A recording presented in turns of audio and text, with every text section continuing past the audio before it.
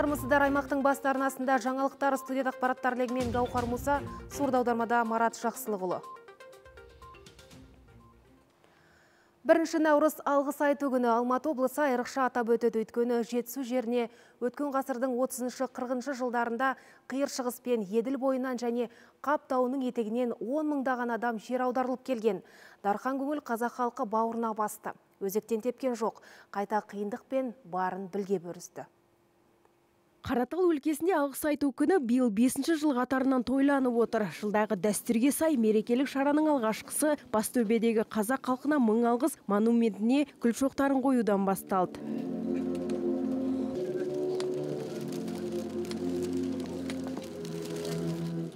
Ел арасында алғыс айту күнінің тарихы Алматы облысынан басталады деген пікірдің айтылуы тегіннен тегін емес. Өйткені еліміздегі ең алғашқы қазақ халқына мың алғыс монументі 2012 жылы Жетісу жеріндегі Бастөбе ауылында бой көтерген. Оны осындағы Корей ұлтының өкілдері тұрғызған тын тоталитарлық жүйені өктемдігімен 1937 жылы қиыр шығыстан 20 мыңға жуық кәріс отбасы Жетісу өңіріне күштеп көшірілгені тарихтан белгілі. Ал Қаратал өңіріне бір мыңнан аса кәріс ұлты қоныс аударыпты. Мұнымен қоса неміс шешен күрт секілді өзге этнос өкілдері де осынан пана тауып өсіп өнді өркендеді. Сондықтан ұрпақтары мемлекет құраушы ұлтқа үнемі алғыс айтумен келеді. Біздің әкелеріміз мамасы мұнда келген қазақтың семьясы семьясы көмектесті. Нан берді сүт берді құрт берді. Сосын кен үй берді и мында өсті. Сосын кен біздің поколениясы мында үлкен поколение қазақтың мында монумент жасады. Қазақтың халқына мың, мың алғыс. Өзге этнос өкілдері қазақ халқына айтар алғысы шексіз. Ризашылық ретінде облыстық кәріс этномәдени бірлестігі өскелең ұрпаққа кітап жазып, естелік қалдырмақ. Өйткені сонау қиын қыстау кезеңде күштеп жер аударылған өзге ұлт өкілдеріне халқымыз барымен бөлісіп, пана бола білген. Жатсынбай бауырына тартып, құшағын айқар ашқан. Сол себепті бірлестік мүшелері келешек ұрпаққа бауырмал қазақ халқының ұлттар арасындағы береке бірліктің үлгісін насихаттамақ. Барлық этностардың қазақ халқына өз аттарынан білдіріп жатқан алғыстарын қабылдай отырып ол этнос өкілдерінің де осы қазақ жеріне қазақ еліне сіңірген еңбектерін айтып өтпесек болмас. Мысалға осыдан 10 жыл бұрын қызылағаш апаты орын алған кезде су тасқынында осы ассамблеяның мүшелері бір ақ күнде жиналып біз қызылағаш ауылына спорт орталығын салып берейік халыққа қызмет көрсету мынау монша салып берейік деп бірлесіп сол құрылысты қолға алып бой көтерген болатын. Біздің облыстық видергебург неміс орталығы болса мына балқаштың осы оң жақ жағалауындағы жойылып кеткен сексеуілдің орны жүздеген гектар жерге сексеуілді өз қолдарымен сеуіп өсірді. Бастөбедегі қазақ халқына мың алғыс монументіне гүл шоғын қоюдан басталған мерекелік шара ары қарай талдықорғанда жалғасты. Достық үйінде бірлігіміз жарасқан атты облыстық форумына ұласты. Мерейлі мереке алғыс айту күнінің мәні мен маңызын кеңінен түсіндіріп ассамблея жұмысын қолдап халыққа насихаттауда барынша үлес қосқан бірқатар бақ өкілдеріне құрмет көрсетілді. Сондай ақ өңірдегі әртүрлі этнос өкілдері мен белсенді жастары марапатталды. Ал шара соңы өнерпаздардың концерттік бағдарламасымен жалғасты.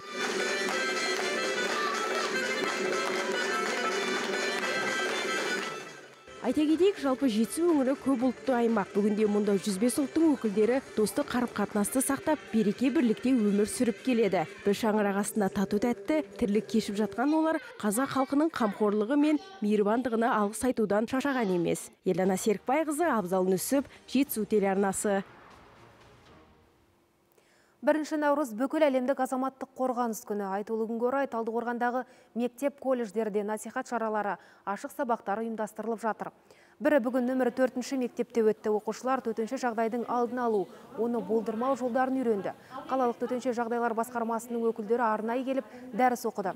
Айтып келмейтін апарт, өрт бола қалған жағдайда не істеу керек сынды сауалдарға жауап беріп ережелерін түсіндірді. Шара барысында оқушылар өзара төртке бөлініп шағын байқау ұйымдастырды. Сабақ барысында біз балалармен әртүрлі викторина өткіздік сұрақтар қойдық. Балалар қауіпсіздік ережелерін білу деңгейі өте жоғары екенін көріп жатырмыз. Және осы күнге арнайы біз мына балалар қауіпсіздігіне арналған мындай жадынама жасадық. Бұл жадынамада осы сыныптың оқушысы қажыбек әлихан көрсетілген. Биыл Наурыз мейрамы 9 күн тойланады. Қазақстандық қоғамдық даму институты Наурыз мейрамын мерекелеудің жаңа тәсілдерін таныстырды. Жаңа тұжырымдамада Наурыз мейрамын тойлауға 9 күн арналып, әр атау берілген. Ол туралы елордалық тілшіміз айтсын. Мәселен, Иран наурыздағы жаңа жылды 9 күн тойлайды. Ол күндері мемлекеттік мекемелер жұмыс істемейді, шекара жабылады. Қалада жұмыс істейтін лауазымды басшылықтан бастап ауылдарына барып көрсетін көрінеді.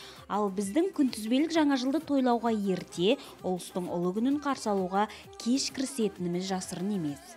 Ол қарашадан бастап әрбір кеңсенің, әрбір нелер оқу орындарының маңдайшасына жазады, жаңа жыл құтты болсын жылдың атын жазып қояды сол жыл пәлен жылдың аты жыл деп. Менің бірінші айтатыным шынтуайтына келгенде осы тәуелсіздігіміздің мерекесін жаңағы европаша келетін жаңа жылмен шатастырмай өзін еркін емін еркін өте жарқыратып тойлауымыз керек. Осыны ескеріп қазақстандық қоғамдық даму институты ұлыстың ұлы күнін тойлаудың жаңа форматын әзірлепті. Тұжырымдама бойынша наурыз мейрамы тоғыз күн өткізіледі. Оның алғашқы алты күні дайындық күндері. Әр күнге атаулы бір шара арналған. 14 наурыз көрісу күні 15 наурыз шежіре күні.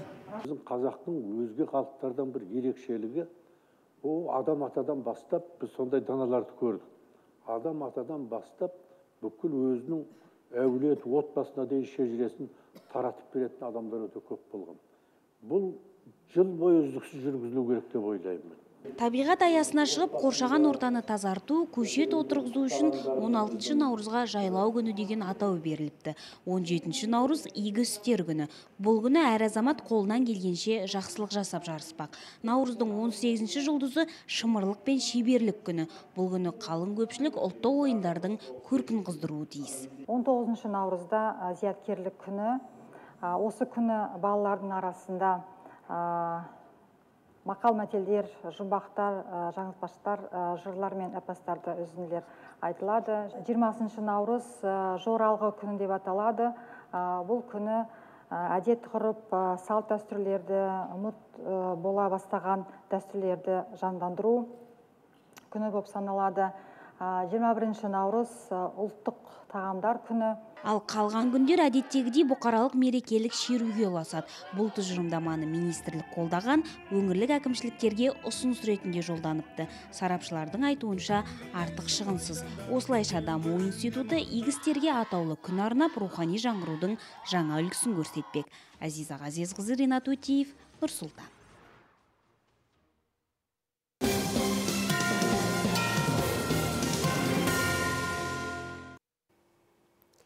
Талдықорғанда ескірген киім-кешектерден бастап ыдыс-аяқ тұрмысқа қажетті заттар мен ойыншықтарды қабылдайтын орталық бар. Ол Қаратал шағын аудандағы жігер қоғамдық бірлестігі. Қайырымдылық мақсатта жұмыс істейтін ұйым қала тұрғындарынан келіп түскен жарамсыз заттарды қайта өңдеп, жағдайы жоқ жанұяларға тегін береді. Тіпті тұрмысы төмен отбасылардың киімдерін жуып, үтіктеп, жыртық жамауын тігіп береді. Десе де сондықтан біз осы қаласынан цех текстиль Иә, бұл жігер қоғамдық бірлестігінің төрағасы Ажар Қыдыралинаның облыс әкімінің халық алдында есеп беру жиынындағы өтініші. Әлеуметтік кәсіпкер елімізде жоқ тоқыма өнімдерін қайта өңдейтін цех ашқысы бар. Алайда қолы қысқа. Талдықорғандық кәсіпкердің бұл ұсыныс жобасын аймақ басшысы қолдауға уәде етті. Очень много ко мне людей обращалось, говорили, чтобы открыть в Талдықорғане центр МПО. Тапсырма бердім.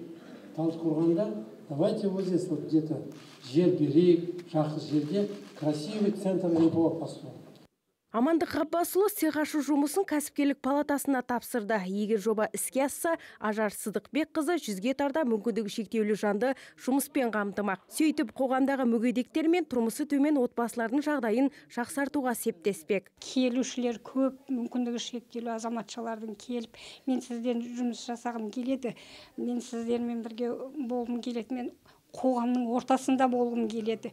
Үйде отырып мына төрт қабырғада отырмай мен елмен қатар жүргім келеді. Мені үйретіңіздерші дегенге мен үйреткім келеді. Бірақ бізде мына отырған орнымыз тар. Алмагүл Ахметова жігер қоғамдық орталығының қызметкері. Ол бұл ұйымда 2019 жылдан бері жұмыс істейді. Айтуынша тігін тігу, пішу, безендіру жағына мүлде хабары болмаған. Бүгінде қолынан келмейтін ісі жоқ. Ұйым басшысы Ажар Сыдықбек қызына үлкен ризашылығын білдіреді. Алғаш келгенде бетінді қақпай, үйретіп, жігерлендірді дейді. Тігу жағын моншақ жасау солардың бәрін осында келіп үйрендім. Әріптестерім де білмеген жерлерімді үйретті бәрін қазір жақсымын. Тігін жағында тігем арасында моншақ та жасаймын. Қолымыздан келсе барлық жақсылықтарды жасап жатырмыз Талай жанды жігерлендірген Ажар Қыдыралина әлеуметтік кәсібін алғаш 2009 жылы бастаған. Бастапқыда үш ақ адам жұмыс істепті. Әлеуметтік топ 2016 жылға дейін талай қиындықты бастан өткереді. Сол жылдың мамыр айында орталық төрағасы бәріне де рахмет үшін қайырымдылық дүкенін ашады. Әлеуметтік дүкен қала тұрғындарынан кейін кешектен бастап ыдыс аяқ тұрмысқа қажетті заттар мен ойыншықтарға дейін қабылдайды. Оны орталық қызметкерлер жуып, қайта өңдеп жағдай жоқ жанұяларға тегін береді. Қазіргі таңда бұл дүкен жайлы көпшілік жақсы біледі. Күнделікті заттар келсе, соғұрлым тұрғындар алып кетеді екен. Жалпы ісмерлердің қолынан қайта өңделген киімдер жаңа киімдерден еш айырмашылығы жоқ. келушілер саны мысалы мына дүкенімізге келуші жыл бойына 370 семья келіп 370 жанұя келіп өз қызметтерін алып осы жерден өздеріне керек заттарын алып ризашылықтарын білдіріп кетіп жатады Жігердің жемісті жұмысы бұл ғана емес. Ұйым төрағасы 2018 жылы облыстық әлеуметтік идеялар мен жобалар жәрмеңкесіне қатысып, әлеуметтік кір жуатын бөлме ашқан. Мұнда мүмкіндік шектеулі, тұрмысы төмен отбасылардың киімдерін жуып, жыртылса тігіп, өтіктеп дайындап береді. Сонымен қатар орталық киім тігетін арнайы мамандарды да жұмыспен қамтыды. Бүгінде бұл шаруаның бас қасында 17 адам қызмет етеді. Оның 8-і тігінші, ал үйде жұмыс жасайтын тағы адам бар. Мүмкіндігі шектеулі екі баланың анасы үйде отырып тігін тігеді. Өйткені ерекше күтімді қажет ететін жандарға қарайтын адам жоқ. мүмкіндігі шектеулі балалардың аналары бар олар да балаларын тастап кете алмайды жұмыссыз. Сондықтан тұрмыстары төмендіктер содан басталады деп ойлаймын өзім. Сондықтан о кісілерге мен жаңағы ойын бөлмесін ашқым келеді. Балалары ойнасын өздері жұмыс жасасын. Оларға да жақсы ыңғайлы балалары қараулы өздерінің жұмыстары да жас- істеліп жатады.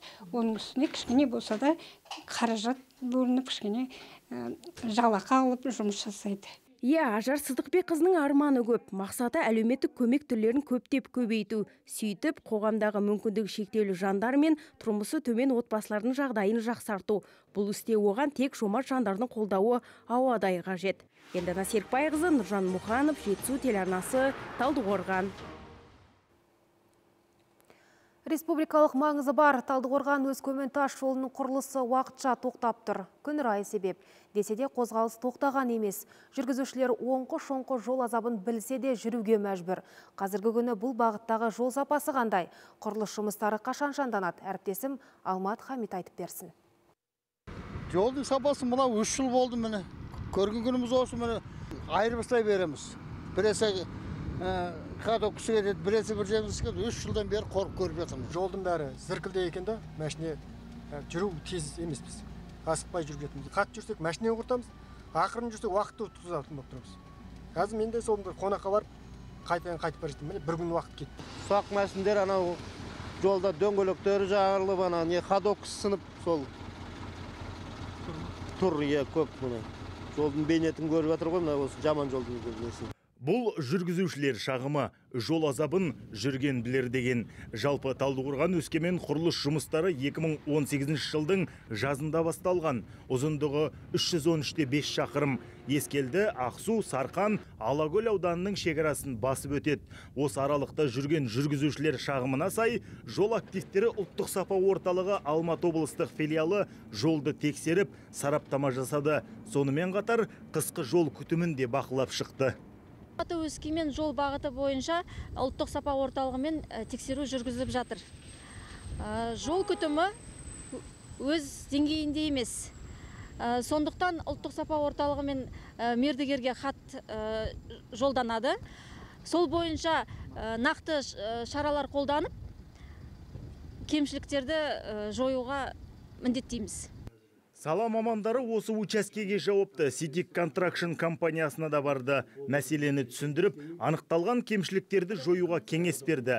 Ал техникалық қадағалау жүргізетін ГК Инжиниринг жауапкершілігі шектеулі серіктестігінің бас инженері күн сайын айналма жолды күреп отыратынын алға тартады. План зимнее содержание дейді, жаңағы утвержденный. Онда жаңағы берілген 8 техника, 8 техниканың бәрі жұмыс істеп жатыр. Күндіз де түнде де жұмыс істеп жатыр екі безопасный движение бар азаматы бар олар солар қарайды. Қазіргі таңда біздің салған асфальтымыз сегізде үш қалғанын ең несі отыз сегіз километр общий протяженности. Соның қалғанын біз биыл бітіреміз деген ойдамыз қазіргі екі сменде заготовка материал жүріп жатыр оны істеп жатырмыз. Жетпіс процент істеуіміз керек. Құда қаласа құдай бұйырса бірінші апрельге дейін оны орындаймыз. Жол активтері ұлттық сапа орталығының құрылғанына бір жылдан жаңа асты. Басты міндеті республикалық автомобиль жолдары елді мекендер мен қала көшелеріндегі жұмыстар және материалдардың сапасын сараптау. 2019 жылы ұлттық сапа орталығымен алматы облысыншы бойынша 600 тексеру жүргізілді. Оның ішінде 111 ақаулық табылды. 33 кемшілігі мердігерге хат жіберіліп биылғы 2020 жылға жоюы жоспарланып отыр Айта кетейік, Талдықорғаннан Қызлағашқа дейінгі трассаға Ситик Контракшн компаниясы жауапты құрылыс жұмыстарын наурыздың 15-нен бастамақ. Алмат Хамид Нұржан Мұқанов, Жетісу телеарнасы, Ескелді ауданынан.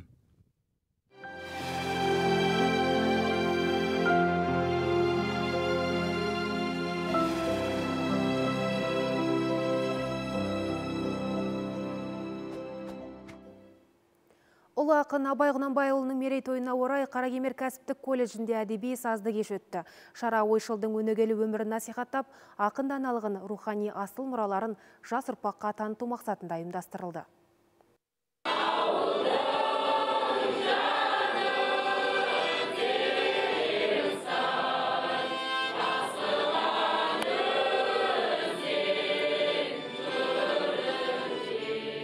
Абай мұрасы қазақтың ең қасиетті қазынасы. Оның шығармалары ақынды дүниежүзі әдебиетінің өресіне шығарды. Абай әндері жақұт жырлары. Әрбір қарпі философиялық оралымдарға толы қара сөздерінің бір парағы сахна төрінде паш етілді. Әдеби кеш құнанбайұлының туындыларын нақышына келтіріп орындаумен тыңдаушылар жүрегіне шымырлата жеткізуімен құнды. Қимадан шалып қисынын тауып хақыны жетіп абай әлеміменен танысу кешінде болып өзіме көптеген рухани ә, нәр алдым. Хакім абай дана данышпан. Өмірдің барлық тақырыбында тәрбие ғылым барлық тағы басқа тақырыбында айтылған жазылған өлеңдер бар. Біз оны оқуымыз керек оны түсінуіміз керек. Жыр кешінде абай құнанбайұлының аудармалары да оқылды. Қайраткер крылов лермонтов пушкин сынды шетелдік даналардың қырыққа тарта еңбегін аударған. Жалпы қазақ халқы абайдың халыққа атты. Әдеби сазды кеш қаракемер кәсіптік колледжі қабырғасында алғаш рет өткізіліп отыр. Шараға білім ордасының ұстаздар қауымы ғана емес білімгерлері де тартылды. Ол данышпан ақынның өмір жолы мен туындыларын жалпақ жұртқа дәріптеуді көздейді.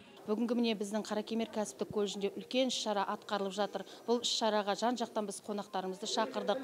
Ә, және де өзіміздің студенттеріміз көреді басқа да мұғалімдер осы ауылдағы тұрып жатқан. Абай құнанбаевтың өзінің мәдениетін өнерін дәріптеу көрсету. Яғни біздің абай құнанбаевты тек қана ә, біз ғана емес балалар да болашақта танысын жалпы білім шаңырағында абайдың 175 жылдық мерейтойы аясында жыл бойы түрлі іс шаралар өткізу жоспарға қойылған. Айта кетейік бүгінде қаракемер кәсіптік колледжінде 500-ден аса студент алты мамандық бойынша білім алып жатыр. Амина құдайберген аманжол жөнкешев жетісу арнасы.